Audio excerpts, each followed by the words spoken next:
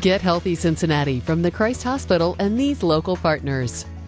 As the obesity crisis continues in America, it's important to talk about new ways to fight this epidemic.